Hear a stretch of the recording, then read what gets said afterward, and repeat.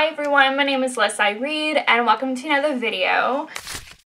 So I'm still participating in the romance takeover. I'm losing track of the days, so I'm gonna leave which day I am on on the screen. But I did not film yesterday. I'm gonna talk about what happened a little later after I talk about what I am reading. So I started an audiobook. I want to mention Jen from the Book Refuge because she doesn't know who I am.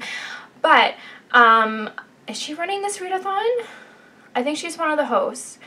But I've been watching some of her videos and I'm finding them so helpful. Like her tips and stuff. So, go check out her channel. Specifically, um, I watched um, the one that's helping me with my reading is How to Read More. She reads voraciously, like to a number that I can never reach ever and that's okay. But I recommend if you want to learn how to read more, check out this video. I'll link it down below. But anyways, so I started listening to an audiobook and I've always struggled trying to figure out how to listen to audiobooks. I think basically what I need to do is cut out news. Um, it would probably be mentally better for me anyways to not watch as much news, but I need to try and make some adjustments. I have been waking up super early and not super early, but I wake up with my family and I usually watch news in the morning. And I probably watch way too much news. So I thought, because my instinct is to wake up, get a cup of coffee, and watch something. That's my instinct. And I think what I need to do is transition to just listening to audiobooks.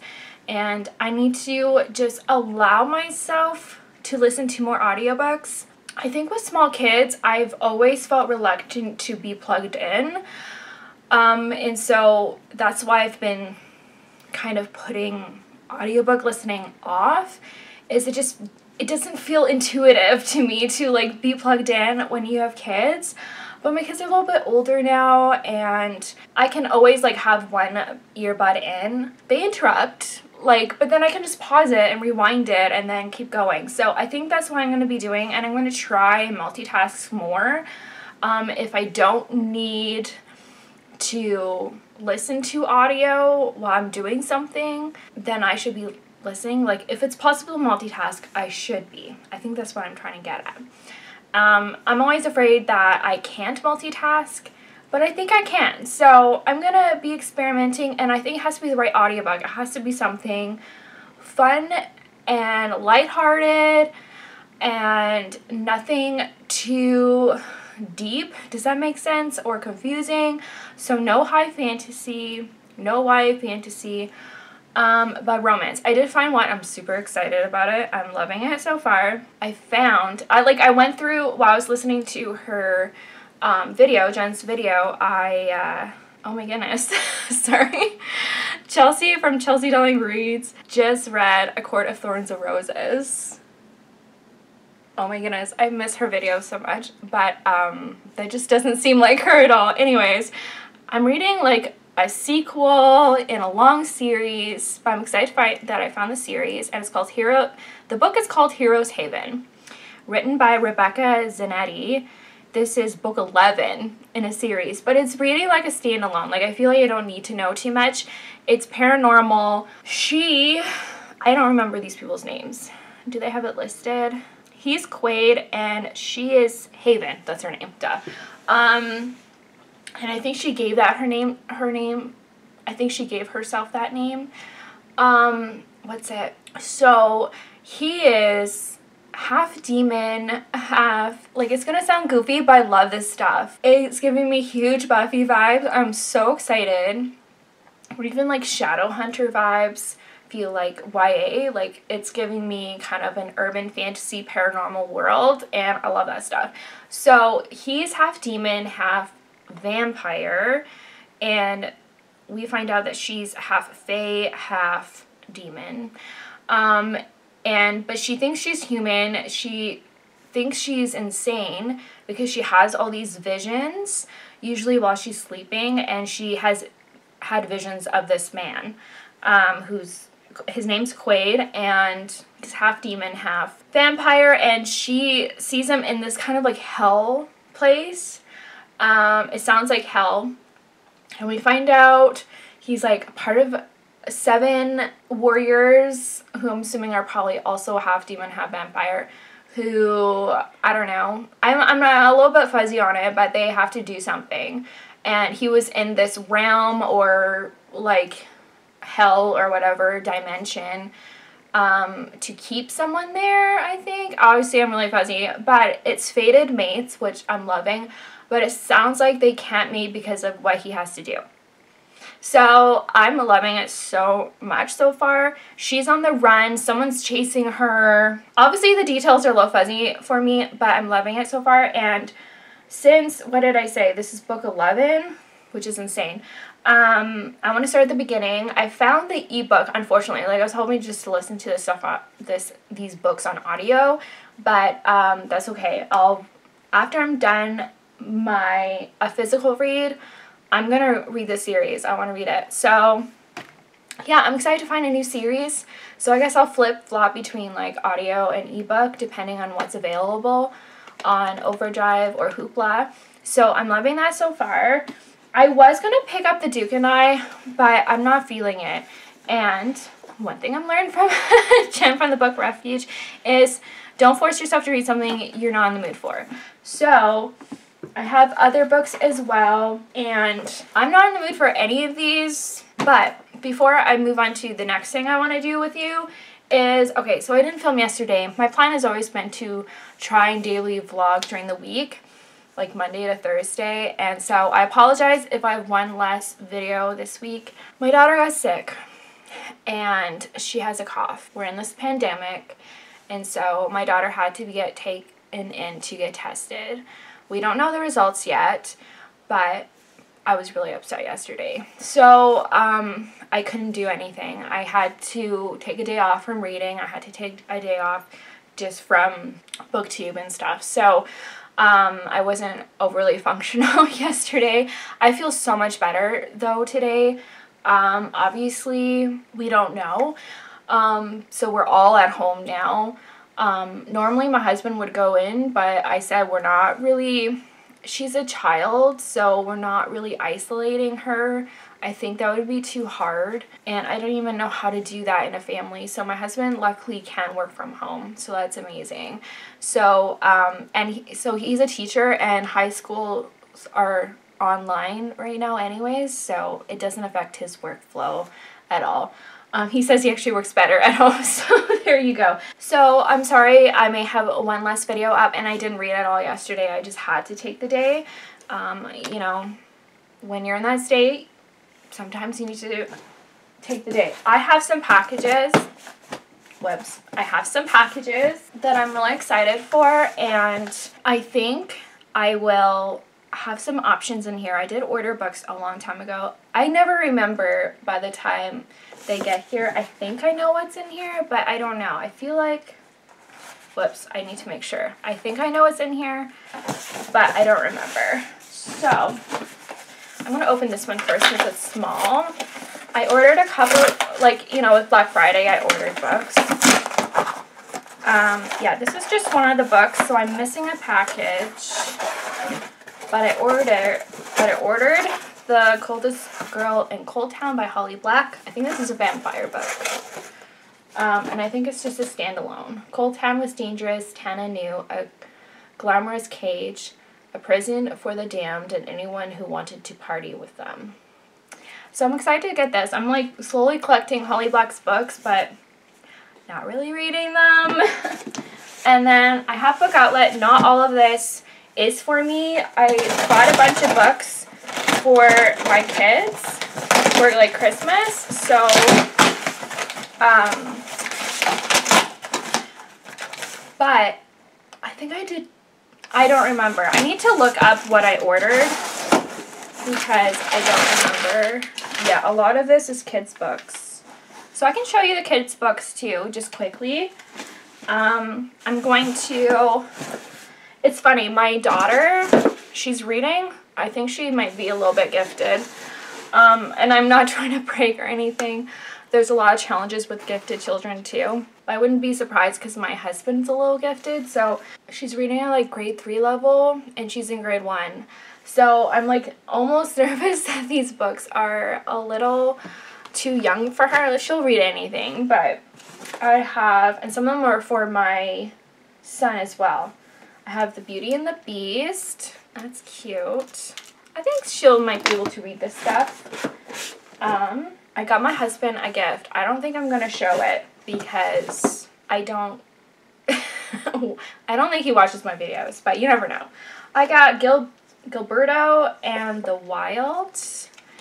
And I don't remember, like I think I just bought a bunch of stuff and I'm going to divide it. I think some are for my daughter and some for my son. I didn't realize this was a board book. I wouldn't have bought this, but Wheels on the Bus. Um, the Miracle of Easter. We are Christian, so my, my daughter loves like Bible stuff. My son loves PJ Mask, PJ Masks Race for the Ring. Sorry if this is not interesting. I'll try to be quick. Annie and Snowball and the Cozy Nest. Here we go. Oh, can you see me? I'm excited about this. I love collecting the I Can Read It All By Myself books. I love those. I haven't seen that one before. I have The Tales of Peter Rabbit. I like that. I have another I Can Read It All By Myself, A Skunk in My Bunk. Love that. All right.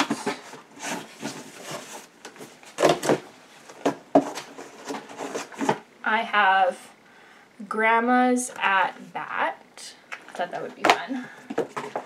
I have PJ Masks, Power Up PJ Masks. Um, oh, right. I got some sticker books. I got Little Chicks and then Ocean Life. I got, these were super cheap, of course, right? So Daniel's Winter Adventure. My kids like watching that show. I have my Perfectly Purple coloring bag. That's super cute. And then I have Infinity in the Game book. It's a sticker book thingy. I have my first sticker and coloring. I got two like with the handle. I thought they would each like that. And then I have a Frozen, a Springtime Surprises. My daughter is obsessed with Frozen. No surprise there. And I did get two cookbooks. I totally forgot. I thought I was going to cook vegan and now I'm not sure anymore. But I have Fresh from the Vegan Slow Cooker. I worked with this specific author's, I like borrowed a book from them. I think it was this one from the library and I liked some of the recipes. So I do have these two cookbooks. You know, I love cookbooks. I don't care. Um, and then, I hope I have enough time. I have eight minutes. I did get, okay, John, if you're watching, skip ahead because this is, do I dare risk it? I don't think I will. I'm going to keep it a secret. Sorry. Um, I got some Christmas books. That's right. A few. I only got two, like, romance. Well, I got a, few. So, um, Lynsay Sands, My Favorite Things. This is a Christmas collection. I did not realize that. Um, but they're all written by Lynsay Sands. So the short stories are All I Want, Three French Hens, and the Fairy Godmother. And then I got a Lori Wilde, The Christmas Dare. And this is a novel. Um, I also got Xmas, A Love-Hate Story by Kate Brian. I think this might be YA, but I think it's like old YA. Um, I've seen it before. It's 2009. Okay, I have The Christmas at the Chalet. I remember the description sounded interesting. Um, so that's why I got it. And then a mystery, A Gift of Bones uh, by Carolyn Haines. This is a cozy mystery. I want to try cozy mysteries a lot. Um, so I'm excited about that. But it's a romance readathon. Now I have no idea what I want to read. But I need to figure it out because honestly, I think I'm not interested in this or Lori Wilde. I don't know. I need to look. I need to read the descriptions. But that's my haul. So all the kids books were um, for Christmas, obviously. So they're going to have a lot of gifts. my battery's about to die. So I'm going to figure out what I'm going to read. I'm going to plug you in and I'll let you know what I've decided. So, as you can see, there's a bunch of romance right there. I'm not really in the mood to read any of it, but um, I think I might just try. That's the thing to do. If you're not sure what to read, you can always try it. And if you don't want to read it, you don't have to. I'm going to try this one. I don't know what else to read anyways, so I'm almost tempted if um, I'm not in the mood for this to read the first book in that paranormal series. I don't know. Um, we'll see. But I don't have tons of adult romance, and for whatever reason, like that stack, I'm not overly interested. Um, there it go. This I'm actually maybe willing to read because it's short stories and it's Regency. I don't know why I don't want to read The Duke and I. I should want to, but I don't know. I'm kind of in a weird mood. I have my tea. Sorry for my messy side table, my husband's. I don't know if I can do it all the way around. Here, let's go like this. It's actually a super cool mug. I like it. I usually don't like use it, but all the big mugs were dirty. So I'm using it then. So I'm gonna try steak stakeout and we'll see how it goes.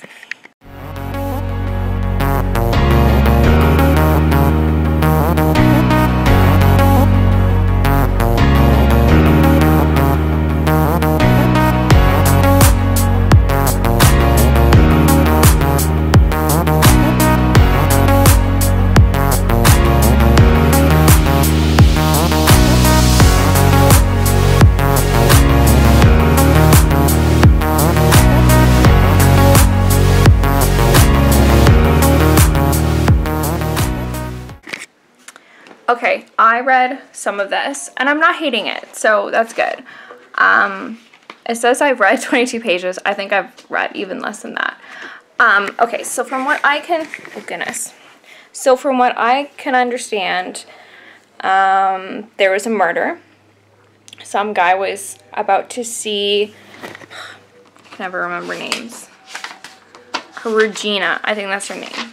He was going to see Regina She's a defense attorney and she was his lawyer. She he she got him out of jail for a like a robbery and but he was like the prologue started where he's sitting in his car about to see her but he's terrified and he's really afraid he's always been afraid. We don't know why. Um, and then we see him get killed. Some person knows the guy who killed him said before killing him, like, are you gonna, you're about to tell her, aren't you? And he said nothing, and then he, the guy stabbed him. Regina is about to go on vacation for Christmas, but, um, but she's waiting for this guy who got killed. Um, doesn't know why she's, he's not showing up. Eventually she leaves her office because he doesn't show, and then she finds him. And then in comes the detective, the main detective. His name is Marcus. He's a homicide detective and apparently Regina has a reputation for being a hard ass and like getting a lot of people out of jail kind of thing, right? So he's expecting someone who is uptight. Apparently she's like drop dead gorgeous or whatever and um, it's, uh, they call, like it's, uh, what's the right word? Both the main characters are people of color. Um, they called her warm, dark, or warm black skin, I think. And clearly the detective is a person of color. I think I tried looking up Kerry Connor. I couldn't figure out who this author is. Like, there wasn't much on this author, so I don't know if his actual, like, own voices representation, but this is the Harlequin with two leads that are of color, so if that's interesting to you, so far I don't hate it, so I'm going to keep reading it and trying it, and if I like it, then I'm going to read it. So, um, that's good news. I need to make my kids lunch. I probably need to figure out what to read, uh, what to eat as well. Um, I'm, I have my period. Um, I'm just, usually on the first day, I'm just so drained. Like, I'm so tired. So, like, I'm not, I'm, I'm fine to make lunch and stuff, but I'm just so drained. So, um, after I make their lunch, I'm going to just come back and read some more and just relax because I'm exhausted, like I feel exhausted. So, um, that's what I'm, I'm going to do and I think if I don't end up liking it, I'm gonna like read the shortest romances I have on my bookshelves and these are the next two. I think that might be why I picked these ones. And just keep picking up a book until I find something I like. Um, find the shortest the shortest romances on my bookshelves. But I think I'm gonna like this one. I think it's gonna be fine. It's uh, like I'm gonna read it. So here we go.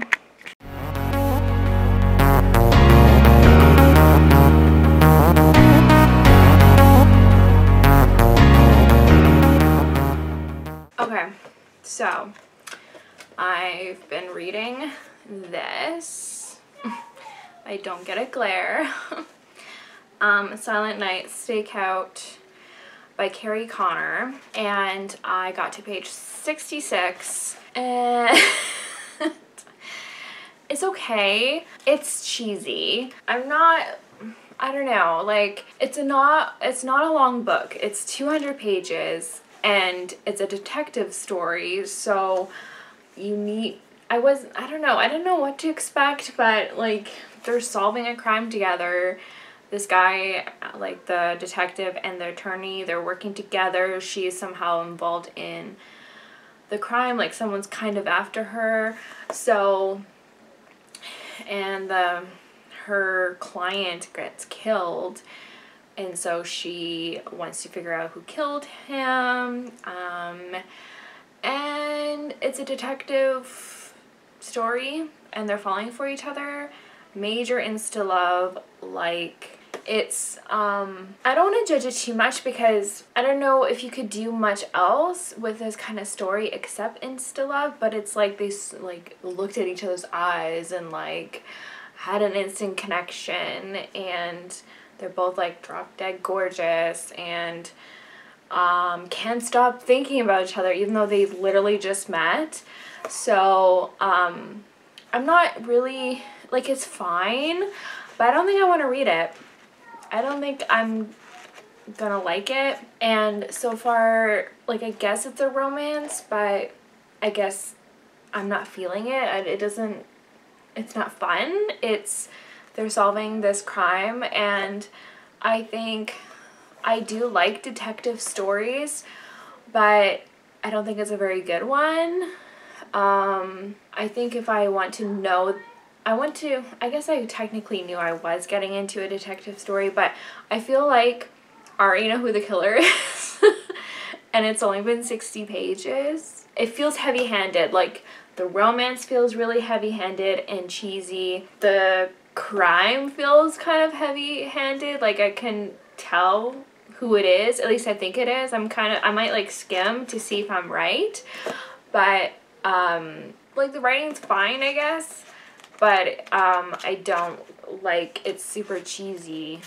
Let me see if I can have an example. They were back in the close confines of his car, the small space accentuating his sheer size, his presence a palpable thing she couldn't begin to ignore even when she wasn't looking at him. He was too big and she felt him too keenly, her skin practically buzzing with awareness of his closeness. That's not so bad, but um, Yes, he was good looking, but this was something more than that, something entirely too disturbing. She was an intelligent woman. She believed in logic and reason, and there was nothing logical or reasonable about the level of response she had to this man. And, like, so they're having language like that, and it's like, you just met this man. Like, I, I don't know. It doesn't, it feels, I think the beginning part is probably better.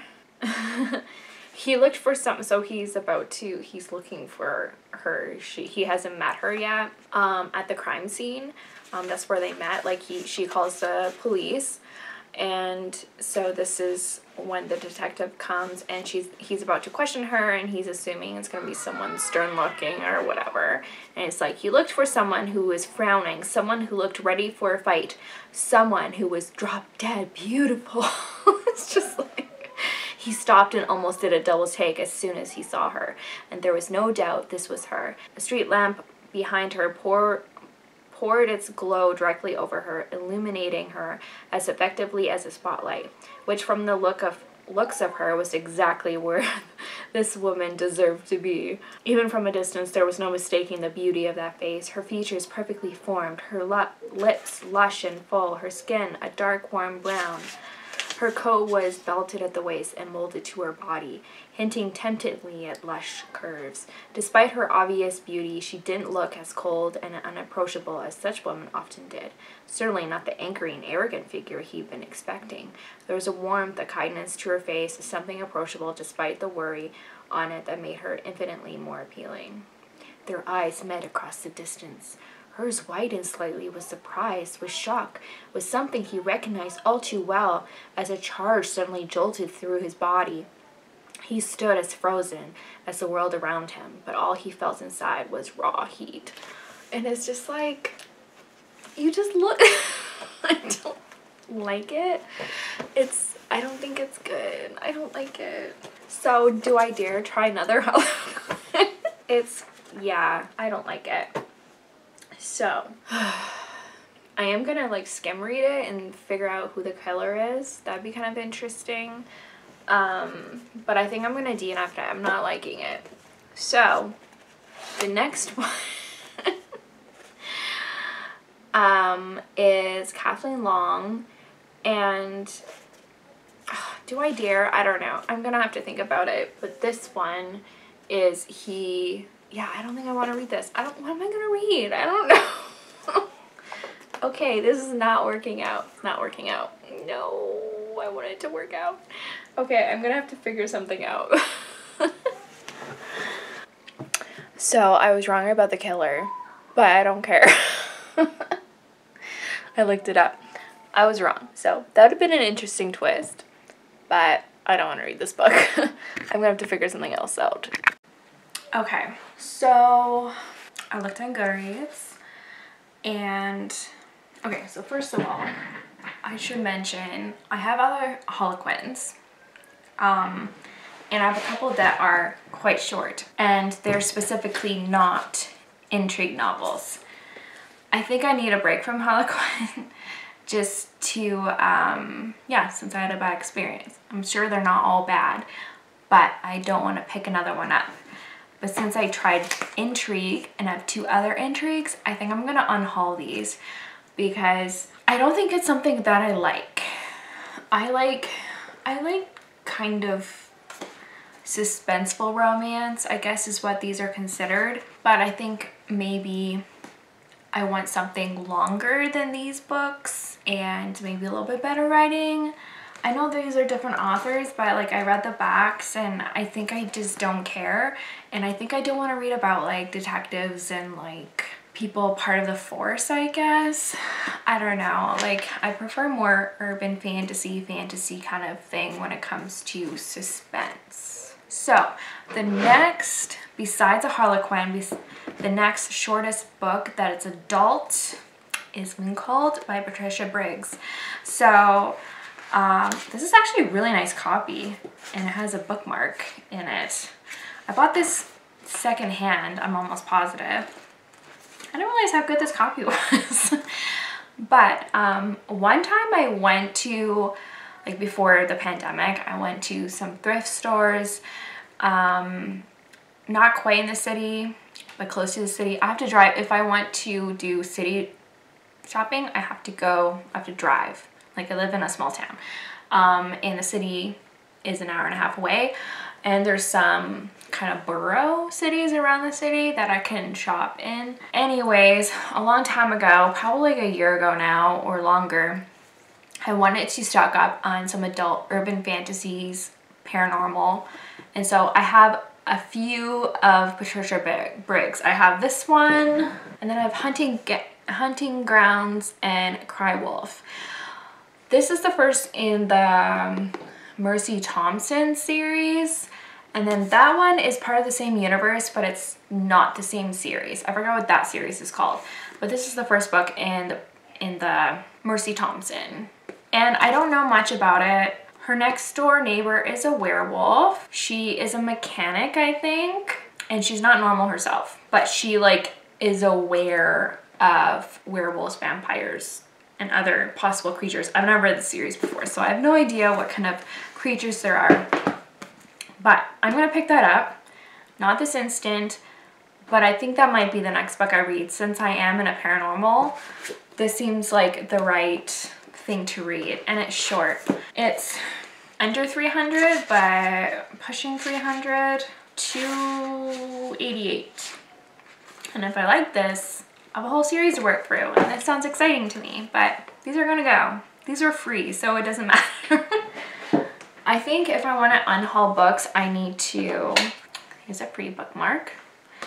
Um, where I am, libraries are closing soon and most stores. We have a thrift store, um, but I'm assuming that's gonna be closing. But we have like a, what's it called? It's like someone in front of their house, they have like a free library box where you can like leave one or take some. So I think when I want to, if when I'm ready to unhaul some books, I might go there and leave books behind and then see if there's anything. But I might wait until the stack gets a little bit bigger and then I would do that. Normally I would just donate a bunch of books at my husband's school, but schools aren't open right now and I don't think it makes sense to donate books if kids aren't reading them right now. So I might wait to do that until the schools are open again. But plus it'd be kind of fun to use the little community, I don't know what they're called. I forget what they're called. Believe one, take one kind of situation. But this is going to be my next read. Um, but I'm to do a little bit of work and take a break from reading because apparently it didn't work out for me. Let's turn on the light. so I'm sorry, I don't have any updates, but what I'm gonna do is read this tonight. I'm gonna start it. It's late, it's like nine, quarter to 10. I'm gonna wash my face and start reading this. So, um, this is the end of the day's vlog. I hope you all enjoyed it. Um, I would love to know if you've read any of the books that I've read, um, whether it's this one or the audiobook I'm reading or the Harlequin I read. Comment down below. I'd love to know your thoughts and opinions about them. If you want more reading vlogs from me, I will link the playlist down below. If you want, I have videos on the screen you can click on their, them there. If you like this video, please give it a thumbs up. Please subscribe if you have not done so. You can follow me on Goodreads and Instagram. And you know what? I want you to keep reading. Bye.